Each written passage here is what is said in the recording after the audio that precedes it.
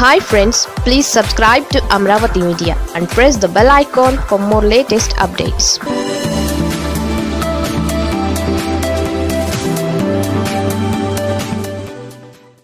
జగన్పై ఫ్రస్ట్రేషన్తో చంద్రబాబు ఏం చేస్తున్నారో తెలుసా?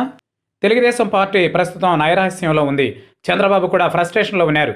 గత రెండున్నరేళ్ళలో ఎప్పుడు లేని అసహనం చంద్రబాబులో తరచూ కనిపిస్తోంది. అది అక్కస్సు అనుకోవాలా లేదా అసహనం అనుకోవాలో తెలియదు కానీ చంద్రబాబు మాత్రం జగన్ ప్రభుత్వం ఒక్క క్షణం కూడా ఉండడానికి వీల్లేదంటున్నారు.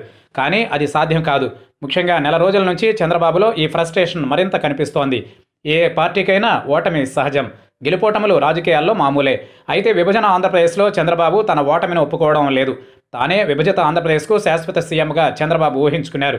జగన్ను ఎవరూ పట్టించుకోరన్న ధీమాగా ఉన్నారు. కానీ చంద్రబాబు క్యాలిక్యులేషన్ రాంగ్ అయింది. పార్టీ డమాల్ అయింది. జగన్ అధికారంలోకి వచ్చిన నాటి నుంచే ఓటు బ్యాంకును మరింత పటిష్టం చేసుకునే దిశగా ప్రయత్నాలు చేస్తున్నారు. చంద్రబాబుకి ఇది రుచించడం లేదు. ఏమీ చేయలేని నిస్సహాయత చంద్రబాబులో ఫ్రస్ట్రేషన్ను మరింత పెంచుతోంది. ఇటీవల కుప్పం మున్సిపల్ ఎన్నికలలో టీడీపీ ఓటమిని చంద్రబాబు డైజెస్ట్ చేసుకోలేకపోయారు. నిన్నటి వరకు దానిపై పోస్ట్ మార్టం చేస్తూనే ఉన్నారు. అక్కడికి వెళ్ళి వచ్చిన నేతల చేత నివేదిక తెప్పించుకున్నారు.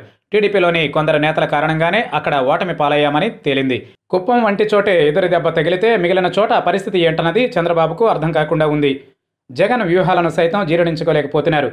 వచ్చే ఎన్నికల నాటికి కుప్పం మరింత సమస్యగా మారే అవకాశం ఉంది. మరోవైపు లోకేష్ కూడా రాజకీయంగా ఎదగడం లేదు. సీనియర్లు ఎందుకు పనికిరాకుండా పోయారు?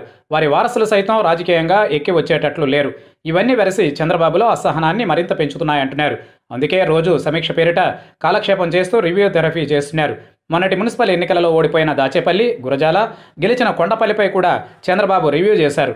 రివ్యూల ద్వారా కొంత ఫ్రస్ట్రేషన్ను చంద్రబాబు నియంత్రించుకుంటున్నారు.